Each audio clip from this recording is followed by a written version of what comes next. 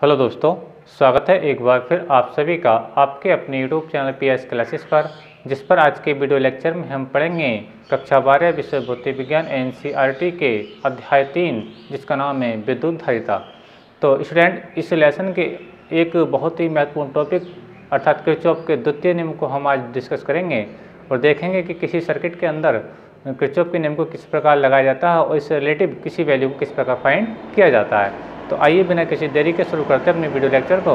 और देखते हैं क्रिचॉप का द्वितीय नियम। लेकिन नियम को पढ़ने से पहले डिस्टेंट में आपको ये बताऊँ कि क्रिचॉप के द्वितीय नियम को बोल्टता नियम भी बोला जाता है क्रिचॉप का लूप नियम भी बोला जाता है क्रिचॉप का पॉस नियम भी बोला जाता है डिस्टेंट। ठीक है? लूप या पॉस क्या होता है? डिस्टेंट में भी आप लोगों को समझाऊँगा। तो याद रहे कि क्रिचॉप का अगर बोल्टा नियम आए तो आप समझ जाना कि क्रिचॉप को हमें द्वितीय नियम ही प्रूव करके दिखाना है। और इसे सर्किट में किस प्रकार लगाया जाएगा, ये मैं आपको समझाता हूँ। तो देखिए, पहले देखेंगे हम इसके स्टेटमेंट को, फिर सर्किट डायग्राम की सहायता से सीखेंगे कि इस नियम को किसी परिपथ में किस प्रकार अप्लाई किया जाता है।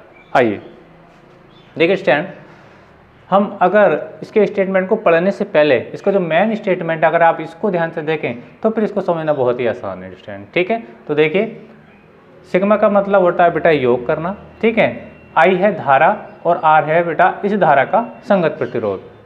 आई समझ में आ रहा होगा स्टेटमेंट की ओर देखें तो आई क्या है बेटा? सॉरी सिग्मा क्या है? सिग्मा का मतलब होता है योग, और योग किसका है? वो मैं आपको बताऊँ। एक तो धारा धारा और क्या है ये प्रतिरोध? यानी धारा और प्रतिरोध का गुणनफल। गुणनफलों का बीज गणितीय योग, ठीक है?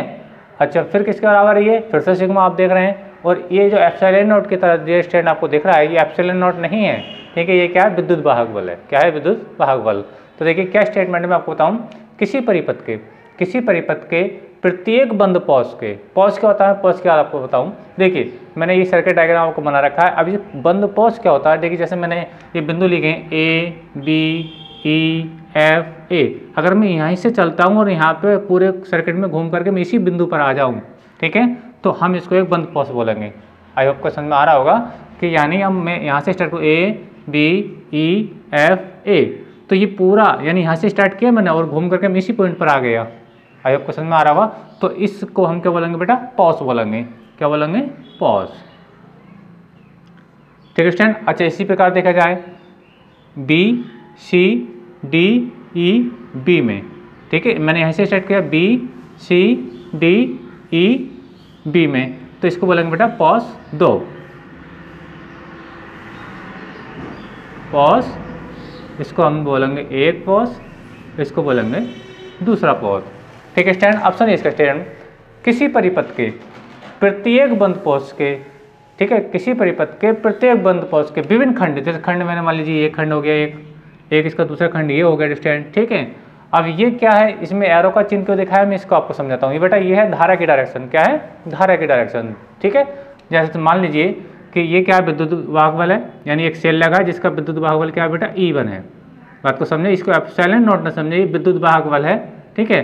एक सेल ये है, इसका सेल का विद्युत वाहक बल क्या है बेटा? ई दूसरा सेल एक ये है, जिसका विद्युत वाहक बल क्या है बेटा? ई टू यानी इसका विद्युत वाहक बल ई वन इसका विद्युत वाहक बल क्या ई टू ठीक है स्टैंड जब ये सर्किट ओपन होगा तो यहाँ से बेटा धारा चलेगी, क्योंकि हम जानते हैं धारा हमेशा धन टर्मिनल से चलती है। आयोग को समझ में आ रहा होगा। और इसकी अगर मैं बात करूँ बेटा तो इसका धन टर्मिनल और इसका नेगेटिव टर्मिनल जब ये धारा आएगी बेटा तो यहाँ से आएगी आई वन धारा और यहाँ से आएगी बेटा आई टू धारा। यानी सेल जो दूसरा सेल है आपका, ये इससे कितनी धारा आएगी? आई टू धारा आएगी स्टूडेंट ठीक है? अब ध्यान से समझें। तो देखिए, किसी परिपथ के प्रत्येक बंद पोष के विभिन्न खंडों में बहने वाली धाराओं, विभिन्न खंडों में बहने वाली धाराओं तथा उनके संगत प्रतिरोधों के गुणनफलों का बीजगणितीय योग। बात को समझे, जैसे I1 I1 का संगत प्रतिरोध क्या है बेटा? R1 है। सेम इसी प्रकार से I2 और I2 का संगत प्रतिरोध क्या है बेटा? R2 है। यानी देखिए ये I, R I R का मतलब है धारा और धारा का संगत प्रतिरोध। तो इसी प्रकार से I1 का संगत प्रतिरोध क्या है? R1 है और I2 का जो संगत प्रतिरोध है वो क्या बेटा? R2 है। ठीक है, स्टैंड? तो अब देखिए मैं आपको अपनी स्टैंड को फिर से रिपीट कर रहा हूँ। किसी परिपथ के प्रत्येक बंद पौष के विभिन्न खंडों में बहने वाली धारा तथा उनके संगत प्रतिरोधक के गुणनफलों का बीजगणितीय योग, यानी धारा और धारा का संगत प्रतिरोध का गुणनफल का बीजगणितीय योग। उस पौष में, ठीक है, कार्य करने वाले समस्त विद्युत वाहक बलों के बीजगणितीय योग के बराबर होता है। तो यही मैंने देखो स्टेटमेंट यहाँ पे लिख करके दिखा। अब देखिए इस स्टेटमेंट को किसी सर्किट के अंदर कैसे लगाया जाता है? आइए मैं आपको समझाता हूँ। देखिए स्टैंड अब इस पोज की बात करें pose A B E F A में। मैं लिखता हूँ, देखिए। बंद पॉज बंद pause A B E F A में। A B E F A में। अब मैं किरचॉप का नियम लगा रहा हूँ किरचॉप का द्वितीय नियम। देखिए आई आर यानी आई वन आर वन यानी इस पोस्ट की बात कर रहा हूँ तो मुझे इससे मतलब नहीं है। ठीक है आई वन और आर वन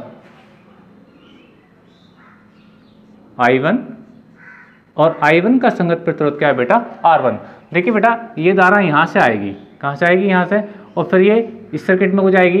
यानी आई वन अब आप ध्यान से समझे इस किरचॉफ के नियम को यहीं पे समझना बहुत इंपॉर्टेंट है। देखिए, इधर से धारा आ रही है आई वन इधर से धारा आ रही है बेटा, इस सेल से आई टू अभी देखिए, आप देख रहे होंगे अपोजिट डायरेक्शन में एक दूसरे के विपरीत हैं। यानी ये धारा इधर को आ रही है धारा इधर को आ रही है। बेटा, जब भी धारा एक दूसरे के विपरीत बहती हैं, क्या बैठती हैं? एक दूसरे के विपरीत बैठी बहती हैं, ठीक है? तो उनके लिए क्या लगाते हैं बेटा? नेगेटिव साइन लगाते हैं। बात को समझें, जब धाराएँ एक दूसरे के अपोजिट बहती हैं, यानी विपरीत बैठती हैं तो इनके बीच में क्या चिन्ह आता है बेटा? नेगेटिव साइन आता है। क्या आता है? नेगेटिव साइन आप देख रहे होंगे कि इस लूप के अंदर, यानी इस पॉज के अंदर आई वन का जो प्रभाव होगा, इस प्रकार से होगा, लेकिन यहाँ से जो धारा आएगी, वो कौन सी धारा आएगी? आई टू आएगी। तो आई वन आई टू एक दूसरे के अपोजिट हो जाएँगी और अपोजिट के लिए हम क्या दिखाते हैं बेटा? माइनस का साइन दिखाते हैं। ठीक है? चलिए, अब बात करते हैं इसके विद्युत, जो विद्युत वाहक बल आपका सॉरी इससे जो निकलने वाली धारा आई टू है, और इसका संगत प्रतिरोध क्या है बेटा? आर टू तो देखिए, इसकी कर रहा हूँ, ये जो आपकी धारा आई टू और इसका संगत प्रतिरोध क्या है बेटा? R two.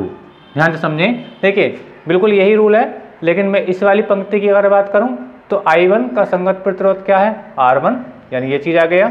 ठीक है स्टैंड अब नेगेटिव साइन इसलिए आया बेटा कि I1 और I2 एक दूसरे क्या है बेटा? अपोजिट है। ठीक है, जब अपोजिट है तो यहाँ पे एक माइनस का साइन आ गया।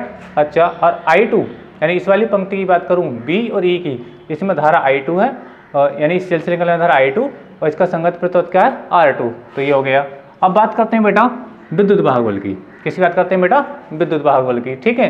अब विद्युत वाहक बल की अगर हम बात करें बेटा तो अब देखिए, हम ये बैटरी का नेगेटिव टर्मिनल है, ये बैटरी का पॉजिटिव टर्मिनल है, ठीक है? धारा आ रही है नेगेटिव से पॉजिटिव ओर को नेगेटिव से पॉजिटिव की ओर को।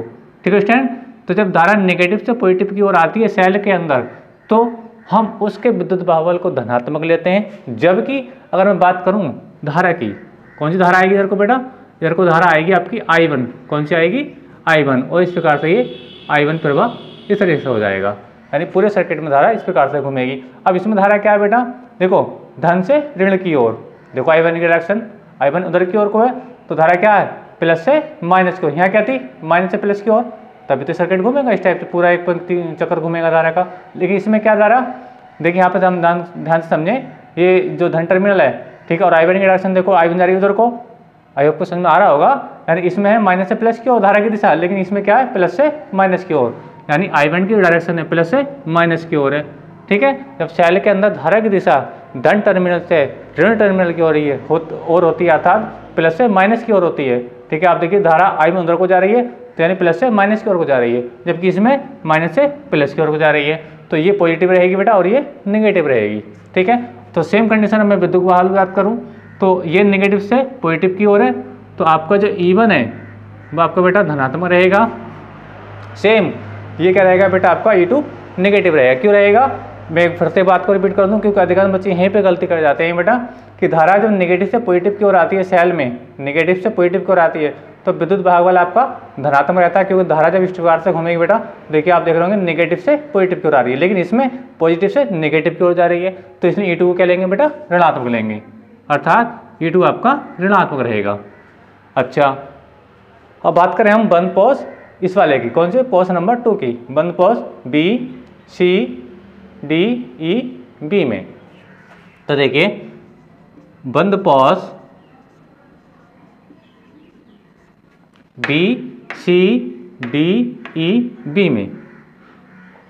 B C D E B में। देखिए अंडरस्टैंड यानी इसमें धारा की डायरेक्शन कुछ ऐसा रहेगी, धारा इसमें ऐसा आएगी और इस तरीके से आएगी। ये जो विभिन्न खंड है, वो यही वो विभिन्न खंड है, जो स्टेटमेंट में कहा गया है जो इसमें बोला गया है कि विभिन्न खंडों में, विभिन्न खंड, एक खंड ये, एक खंड ये, ठीक है? तो इसमें इस वाले की बात कर रहा हूँ मैं पोस्ट नंबर टू की। यानी post two B C D E B में B C D E B में, यानी इसकी बात करूँ अच्छा अब ध्यान समझे बेटा, इसके लिए बात करें, ठीक है? अब इसमें विद्युत भागबल तो एक लगा है केवल, यानी ई वन तो आपका बाहर हो गया। ठीक है, बंद पोस्ट में द्वारा अब जो विद्युत जो सेल है, वो क्या है? एक ये वाला सेल है, जिसका विद्युत भाग क्या बेटा? ई टू है। ये तो आपको क्लियर है क्योंकि इस पोस्ट में ये वाला सेल काउंट नहीं किया जाएगा। आई आपको समझ में आ रहा होगा। अच्छा अब बात करें बेटा हम धारा की। काय की? धारा की। ठीक है? अब धारा की अगर बात करूँ तो अब बात आती है कि ये बी जो पंक्ति है, इसमें कितनी धारा प्रवाहित होगी। तो किसमें जाएगी बेटा? आपके आर थ्री प्रतिरोध में। इसको मान लीजिए आर थ्री प्रतिरोध है। कि इसमें कितनी धारा प्रवाहित होगी? अब ध्यान से देखो। यहाँ से कौन सी धारा आ रही है बेटा? आई वन धारा आ रही है यहाँ से। यहाँ से कितनी धारा आएगी? अब मैं इस चीज़ को सॉल्व कर देता हूँ। आप समझिए बात को? देखिए। ये धारा आई टू है। अगर आपको क्लियर ही नहीं दिख रहा तो मैं दोबारा से बना के दिखाई देता हूँ। ये आई टू धारा है। अब देखिए, यहाँ से आ रही आई वन धारा, यहाँ से आ रही आई टू धारा। तो इस संधि में मिलने के बाद ये कितनी धारा हो जाएगी? I one plus I two बात को समझे। यानी बाह्य प्रतिरोधी आर थ्री जो प्रतिरोध इसमें कितनी धारा आएगी? आई वन और इधर से आ रही आई टू तो ये यहाँ से जुड़ने के बाद I one plus I two ठीक है? तो यहाँ जो जो धारा हो जाएगी बेटा, ये हो जाएगी आपकी I one plus I two very good ठीक है? यानी इस प्रतिरोध में ये जो धारा बहेगी इस आर थ्री में जो धारा आएगी, कितनी आएगी बेटा? आर थ्री में कितनी धारा आएगी? I one plus I two के बराबर आएगी। और यही धारा किधर जाएगी? इस पंक्ति में जाएगी। तो उसमें डी से ई e तक। यानी I one plus I two ये धारा किसमें आएगी बेटा? इस पंक्ति में आएगी। यानी I one plus I two R three में प्रवाहित होते हुए किधर चलेगी? इधर चलेगी। और इस तरीके से पूरा चक्र हो जाएगा स्टैंड ठीक है? चलिए। तो देखिए, अब इसकी बात कर लें। इस वाली पंक्ति में जिसमें लिया है बंद B C D E B में। B C D E B में यानी ये पंक्ति तो दोबारा आ रही है, यानी दोनों पोर्सन में ये तो कॉमन है तो इसका कॉमन है तो ये आई टू और आई टू का जो यूज़ है, फिर दोबारा किया जाएगा। ठीक है स्टैंड एक बार तो ये इसके लिए आई थी पंक्ति, और एक बार ये नीचे वाले पोस्ट के लिए आ रही है। आई होप को समझ में आ रहा होगा। ठीक है? तो यानी कि दोनों में क्या है? दोनों पोस्टों में ये कॉमन है तो कॉमन है तो इसके साथ भी इसे काउंट किया जाएगा, और इसके साथ भी इसे काउंट किया जाएगा। ठीक है? तो ध्यान समझें तो ये आई टू और इसका संगत प्रतिरोध क्या है बेटा? आर टू तो देखिए आई टू और संगत प्रतिरोध क्या बेटा? इसका आर टू। ठीक है? अच्छा अभी नीचे की ओर आ रही हैं। अब धारा एक दूसरे का आई वन आई एक दूसरे के अपोजिट नहीं है। आई वन की और आई टू की डायरेक्शन एक दूसरे के एक ही दिशा में आता है जुड़ के आ रही हैं। तो इसलिए क्या रहेगा बेटा ये? प्लस रहेगा स्टैंड ठीक है? अच्छा अब ये आई वन आई टू किसमें आएँगी? आर थ्री में। यानी इनका संगत प्रतिरोध कौन है? इनका संगत प्रतिरोध है आर थ्री यानी I one plus I two. का जो संगत प्रतिरोध है वो क्या है बेटा? आर थ्री है। ठीक है? अब बात करें इसके विद्युत भाग बल की। तो इसमें विद्युत भाग बल क्या है बेटा? केवल एक विद्युत भाग बल लगा वो क्या है? ई e टू है। जिसका जो विद्युत भाग बल क्या है बेटा? ई e टू एक, एक सेल लगा है जिसका विद्युत भाग क्या है बेटा? ई e टू है। ठीक है स्टैंड? तो ये था क्रिचॉप का द्वितीय नियम। आई होप को समझ में आया हुआ स्टैंड। अब साथ ही साथ स्टैंड में आपको बताऊँ कि आपसे एग्ज़ाम में कई बार ये पूछा गया है कि क्रिचॉप का नियम किस भौतिक राशि के संरक्षण सिद्धांत पर आधारित है। तो आप उसका आंसर कैसे देंगे? तो मैं बताऊँ बेटा आपका क्रिचॉप का द्वितीय नियम ऊर्जा के संरक्षण सिद्धांत पर आधारित है।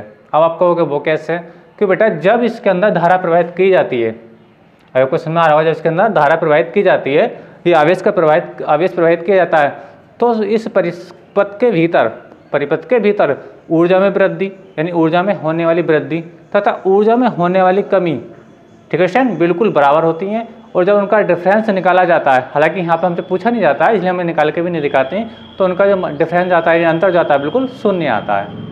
अगर क्वेश्चन में आ रहा है कि यानी जब इस परिपथ के अंदर धारा प्रवाहित की जाती है तो इस परिपथ के अंदर ऊर्जा में होने वाली वृद्धि तथा ऊर्जा में होने वाली कमी बिल्कुल एक दूसरे के बराबर होती हैं। जब उनका अंतर निकाला जाता है तो वो एक दूसरे को कैंसिल आउट कर देती हैं और उनका मान कितना आता है बेटा? शून्य आता है। ठीक है? तो इसमें कहा जाता है कि क्रिचॉप का जो द्वितीय नियम है बेटा, ऊर्जा के संरक्षण सिद्धांत पर आधारित है। जबकि मैंने इससे पिछले वीडियो लेक्चर में डिस्टेंट आपको बताया था कि क्रिचॉप का जो प्रथम नियम है, आवेश के संरक्षण सिद्धांत पर आधारित था इस बात को ज़रूर याद कर लें, क्योंकि क्वेश्चन में एक नंबर आपसे पूछा जाता है कि किरचॉफ का प्रथम नियम किस भौतिक राशि के सिद्धांत पर आधारित है तो आप बताएँगे, आवेश के संरक्षण सिद्धांत पर आधारित है। जबकि किरचॉफ का दूसरा नियम किस भौतिक राशि के सिद्धांत पर आधारित है तो आप बताएँगे बेटा, किरचॉफ का द्वितीय नियम ऊर्जा के संरक्षण सिद्धांत पर आधारित है। तो डिस्टेंट, आज के वीडियो लेक्चर में बस इतना ही। अगर वीडियो आपको पसंद आया है, डिस्टेंट वीडियो को लाइक कीजिए, शेयर कीजिए, एंड कमेंट कीजिए। और चैनल पर नए तो चैनल को सब्सक्राइब भी ज़रूर कीजिए। थैंक यू, धन्यवाद, बेस्ट ऑफ़ लक।